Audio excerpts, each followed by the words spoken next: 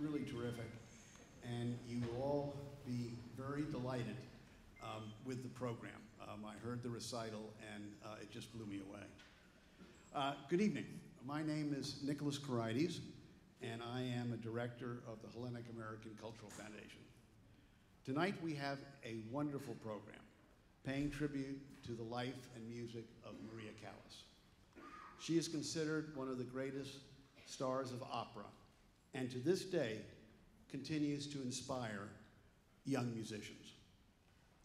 We are fortunate to have with us this evening Nicholas Gage, who will begin the evening with a presentation on her background and accomplishments. Nick Gage needs no introduction.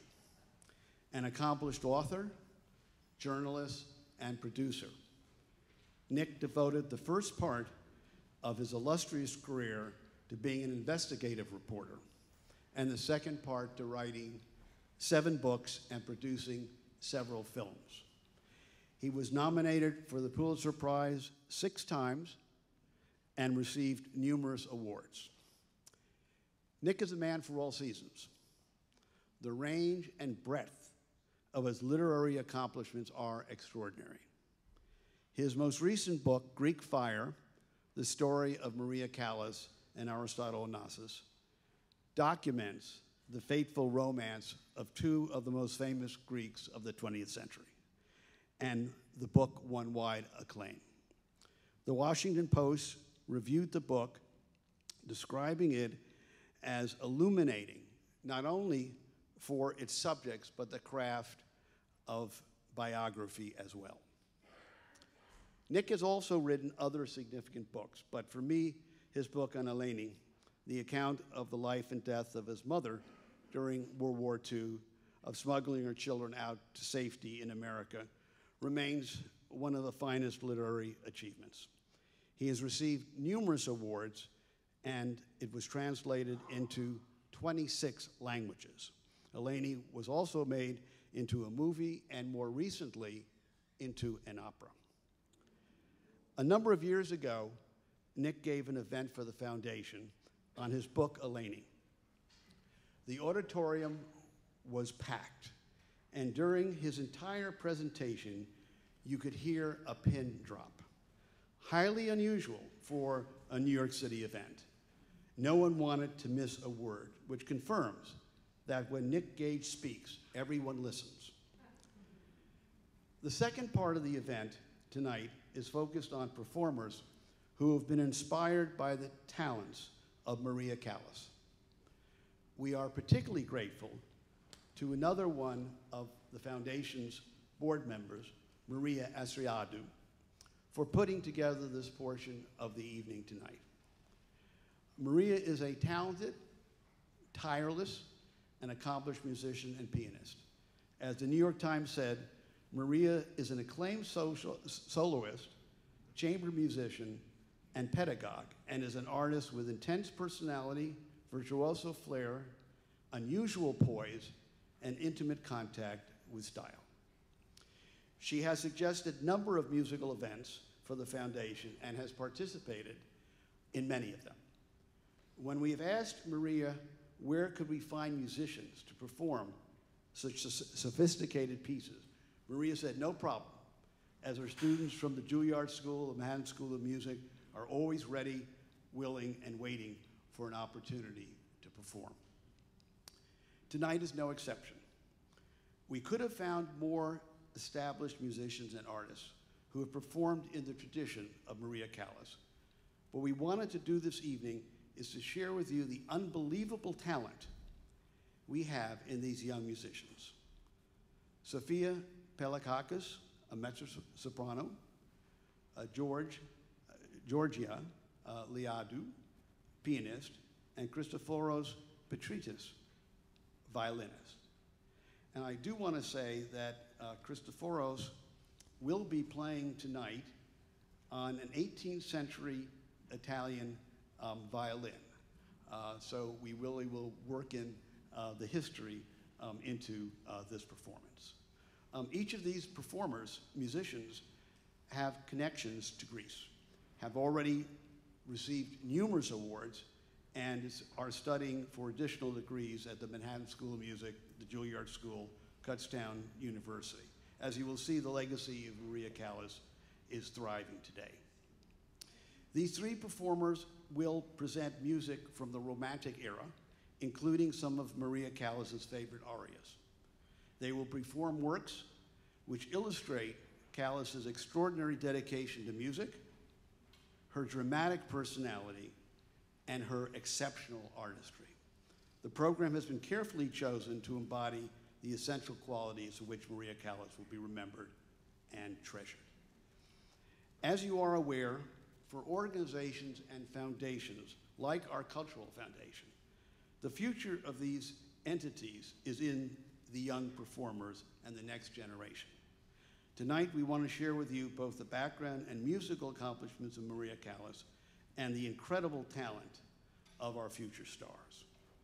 The structure of the evening is for Nick Gage to provide the background of Maria Callas and her accomplishments and to play a few video um, clips of Callas's past performances, and they're really absolutely wonderful.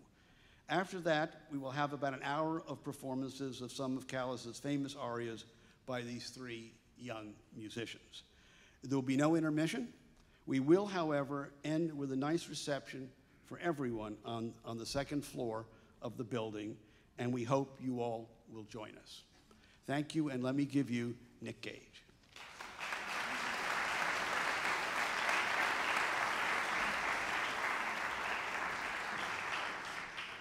Thank you and good evening. I want to assure, uh, I saw some worried faces. I want to assure you, despite the affectionate way I was caressing the piano, I will not play a note or sing a note tonight. I will only uh, give you an overview of the amazing life and talent of Maria Callas. When Maria Callas died 46 years ago this month, on September 16, 1977, Harold Schonberg, the, the then music critic of the New York Times, summed up her life best in my view. Callas, he wrote, blazed through the skies and was burned out early, but what amazing years those were. What she accomplished in those brief years has not been equaled by any other performer in the history of opera. As I wrote in my biography of her, Greek Fire, her skills as a singer and actress so completely reinvigorated and transformed her art that her admirers now speak of opera as before Callas and after Callas. Michelle Crystal, the former critic, uh, artistic director of the Washington National Opera, called her the performer who changed the standard by which all other opera singers are judged. Leonard Bernstein went even further, calling her the Bible of opera. Noel Coward wrote in his diary after witnessing one of her performances at Covent Garden, she is one of the few great artists that I've ever seen in my life. Her most fervent fans worshipped her as La Divina, the Divine One, and many shared the sentiments of Italian musicologist Attila Csampai, who wrote, During the 10 years of her unquestioned reign between 1949 and 1959, she bestowed upon the world more music, more art, more humanity, and warmth than any other individual in the 20th century. Here is the great diva singing two famous arias, Casta Diva from Norma and Vissi d'arte from Tosca.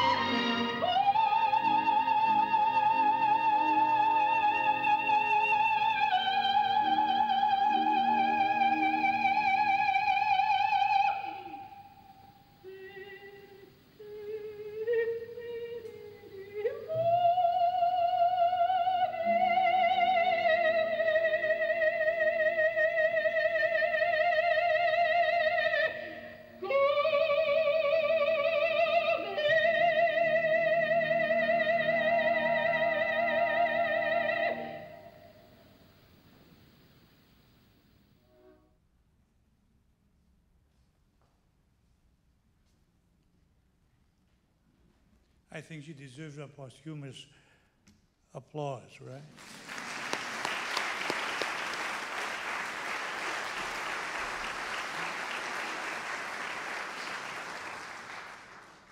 What made Maria Callas the unique musical artist that we just saw? She was born with a prodigious musical gift, her phenomenal voice, of course. Here's how one of her early teachers described that voice when she was still a teenager. Quote, it swirled and flared like a flame and filled the air with melodious reverberations like a corrido. But what, but what gave Maria the discipline and determination to hone her talent to such a razor sharp edge were traumatic experiences in her, life, in her childhood and youth that left her career her only solace and refuge. Maria Callas was born here in New York City at Flower Fifth Avenue Hospital on December 2, 1923, four months after her parents, George Kalogeropoulos and his pregnant wife, Evangelia, called Litsa, arrived in Manhattan with their six-year-old daughter, Yakinthi, later to be known as Jackie. Her mother had hoped Maria would be a boy to take the place of the son she had lost to meningitis three years earlier, and was so disappointed to learn that she had given birth to a girl that she refused to look at the baby for four days. The family lived in Astoria for the first three years and then settled in an apartment at 192nd Street in Washington Heights.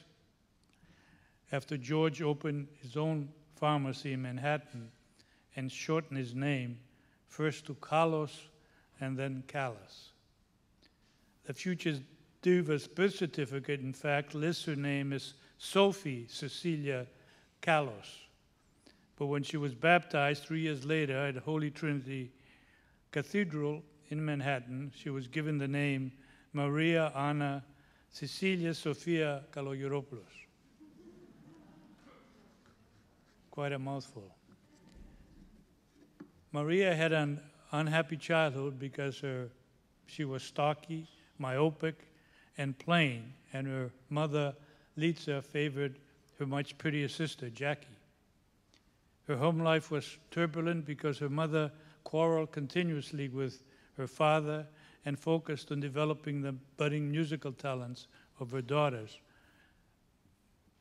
By 1937, her parents' marriage had unraveled so badly that as soon as Maria finished the eighth grade that spring, Litsa took her, told her husband she was leaving him and taking her daughters back to Greece, where her family would help provide proper musical education for the girls.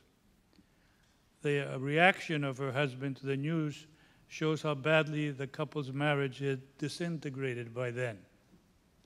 He knelt down, his daughter later recalled, crossed himself, and said, At last, my God, you have pitied me. Litsa had not anticipated the problems would, uh, that would await them in Greece. First, her relatives made it clear they would not be able to help financially.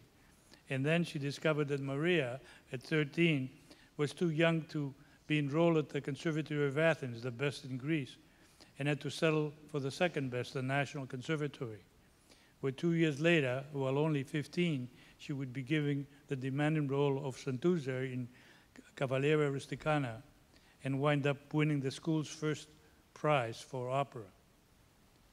Just as she turned 16 in December of 1939, Maria won a scholarship to the more prestigious Conservatory of Athens after performing an audition before the famous Spanish soprano Elvira del Hidalgo, who had taken a position at the school after civil war broke out in her own country in 1936.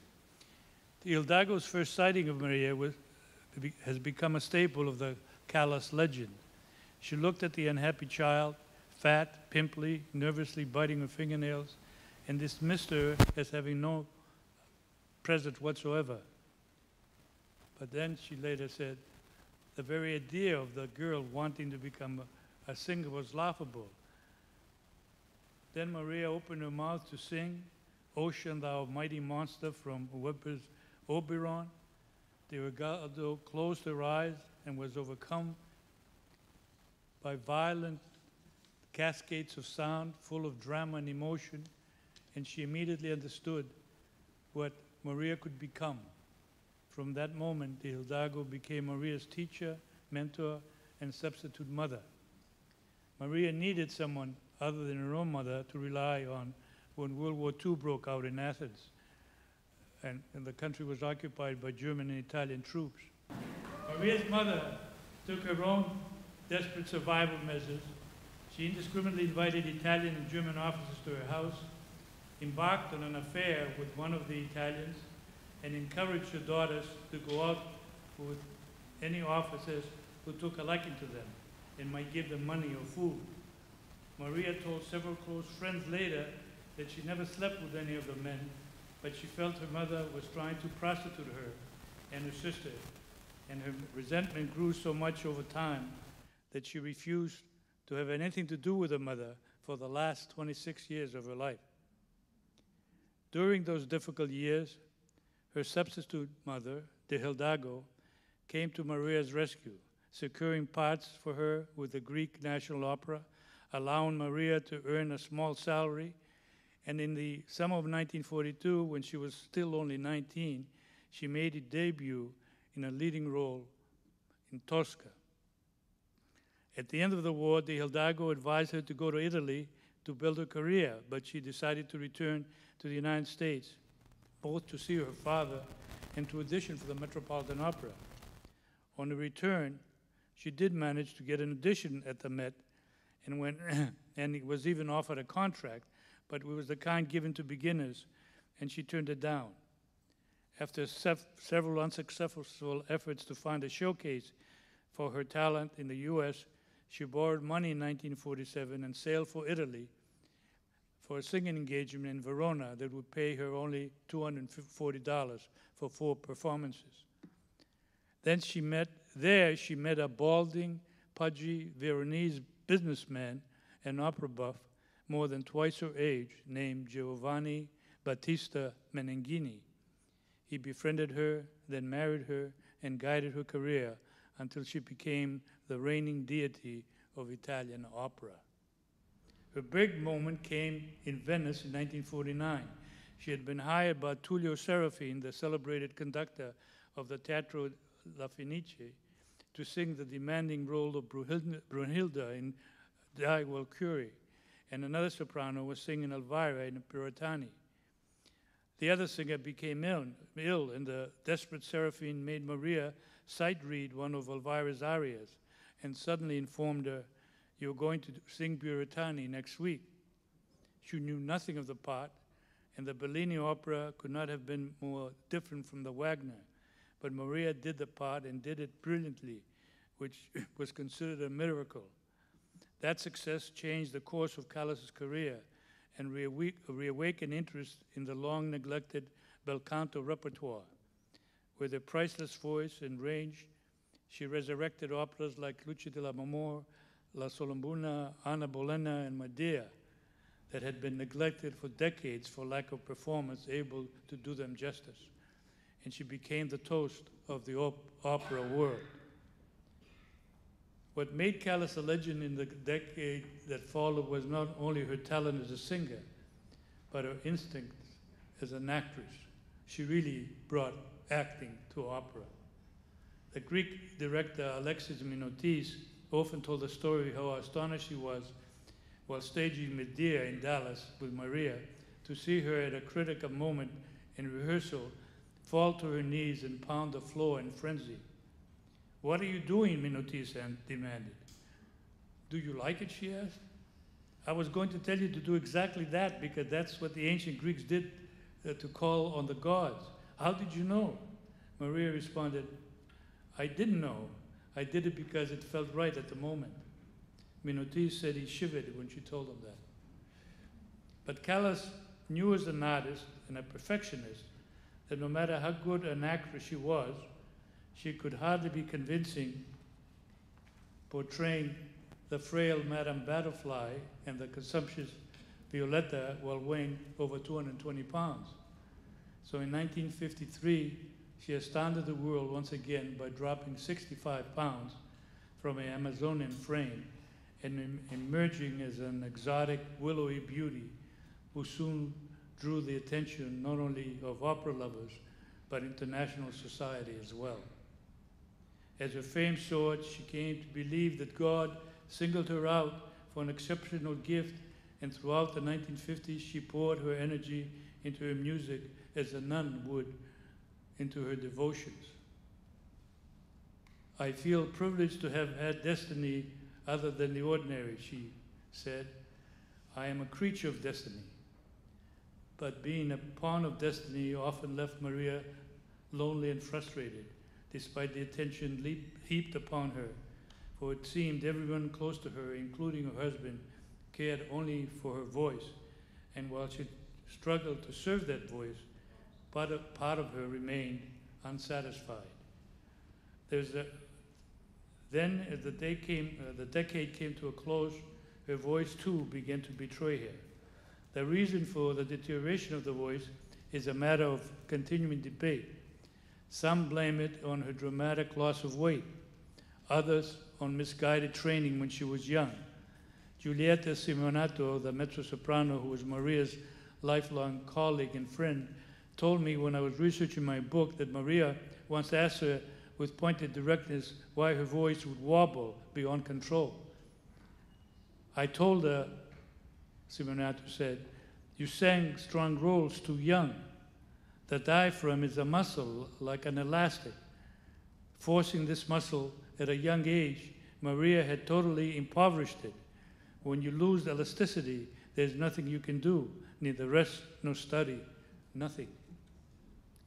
But most blame the only man Maria Callas ever loved, shipping tycoon Aristotle Onassis, for ruining, ruining her voice and destroying her career. They believed that Maria poured all her energy into her art until she met the man who would ignite passionate love in her for the first time. But because of that love, her devotees believe she squandered her unique talent to devote herself to her, her insensitive paramour, who strung her along for nine years, forced her to have an abortion when she became pregnant with his child, and then rejected her to marry a woman even more famous than she was, Jackie Kennedy. All these perceptions of the diva and the tycoon are, of course, cliches forged by decades of misinformation published about them. Although there is a core of truth in many cliches, Maria Callas and Aristotle Onassis as well, they were not, they were uh, a lot more complicated and vulnerable than their legends suggest. Their, affair, uh, their love affair was quite different than uh, the inaccurate story everybody knows. In fact, although their relationship was certainly tempestuous, for both of them it was the deepest and longest lasting commitment of their lives, as I found out when I researched my book about them. The affair began on July 22, 1959, when Onassis and his wife invited Callas and her husband on a three-week cruise on the yacht Christina from Monte Carlo to Istanbul. During the course of that, screw, uh, of that odyssey, Callas and Onassis fell in love, and their marriages dissolved before the alarmed eyes of their passengers, who included Sir Winston Churchill and his wife, Lady Clementine. Maria became pregnant during that cruise, and later she told friends that Onassis forced her to have an abortion, despite her lifelong desire for a child. But during research for my book on the couple, I found legal papers, including the baby's birth and death certificate, a photograph of the dead baby, and testimony from Maria's loyal maid that she never had an abortion but gave birth to a son eight months after the cruise ended. The child was born and died on the same day, March 30, 1960, and Maria returned, mourned at his grave for the rest of her life. The baby died because he was taken by cesarean section in the eighth month, and, the, and his lungs were not strong enough. Maria never told anyone except a few intimates, but much later, when she had been deserted for Jackie Kennedy, it was easy for her to tell of an abortion that had been forced upon her making Onassis the villain. In fact, Onassis' closest friends told me that despite his marriage to Jackie, Maria Callas remained the love of his life. He spoke, of her, he spoke to her almost daily and had his people look after her finances and travel arrangements. He frequently visited her in Paris, even sharing a dinner with her uh, last uh, boyfriend, Giuseppe Di Stefano. He bought Maria her apart, uh, apartment in Paris, although Callas never exploited him for his money. And far from ruining her, music, uh, his, her musical career, Onassis always prodded Maria to keep performing. But Maria wanted to give up singing because her voice began to betray her before she met him and became uncontrollable. It was Onassis, in fact, after the death of their baby, who arranged for her to give the two most famous closing performances of her career at the theater of Epidaurus, where only the tragedies of Aeschylus, Sophocles, and Euripides had been staged previously. In the first performance, on August 24, 1960, Maria chose her signature role, her favorite, Norma, a tragic Druid princess who decided to murder her two children as they sleep to take revenge against the lover who betrayed her, but is so moved at the sight of them that she changes her mind and offers up her own life in a fiery ritual of atonement. Callas gave a heartbreaking performance that uh, night, and it, that became one of the legends of her career. The critics called it a miracle, and some detected new tenderness, a real mother's feelings, as one put it, in the way she interacted with the children on the stage. The second performance, this came a year later, and the opera chosen was another tragic story of a woman betrayed, Medea. Many celebrities came from near and far to witness the production, including the conductor Thomas Schippers, La Scala's general manager Donio Ghiringhelli, and Wally Toscanini, who later told, told Gian Carlo Menotti, as I watched Maria, I began to cry because I, I knew what she was going through. She was losing, losing her voice, and Onassis was there. You could almost see the blood coming out of her vocal cords. She gave an in, incandescent performance out of despair. All she wanted was to be loved. Onassis came to recognize the value of that love, but all too late.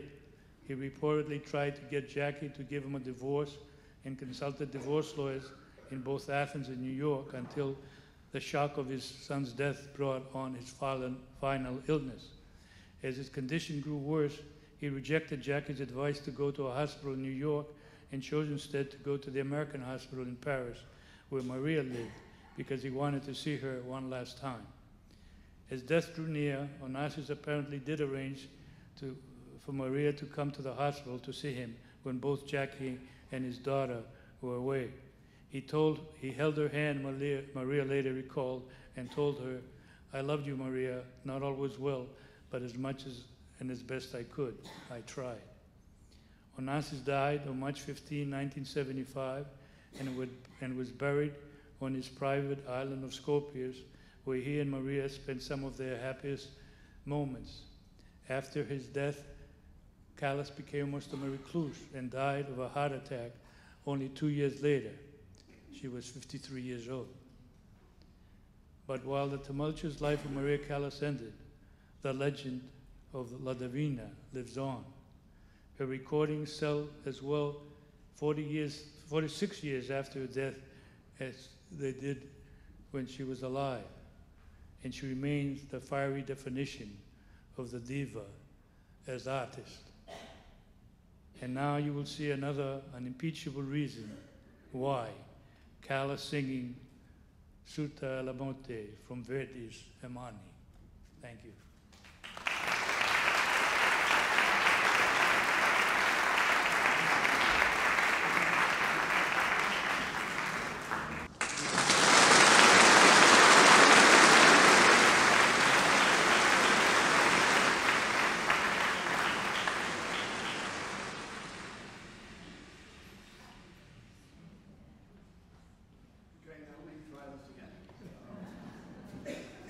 Thank you again, Nick. This was really a terrific um, setting for the musical portion that will now begin. The, these videotapes and the videos are just extraordinary, and they certainly bring chills watching them.